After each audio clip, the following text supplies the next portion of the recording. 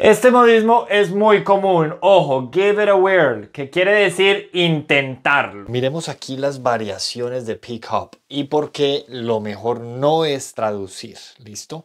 Vean, pick up quiere decir recoger. Miren este ejemplo. You can pick up your things at the office. Puedes recoger tus cosas en la oficina. Pick up on quiere decir notar o detectar. She picked up on the sarcasm in her voice. She picked up on the sarcasm in her voice. Ella notó el sarcasmo en su voz. Pick up en otro contexto quiere decir mejorar o aumentar. After the rain, the weather started to pick up.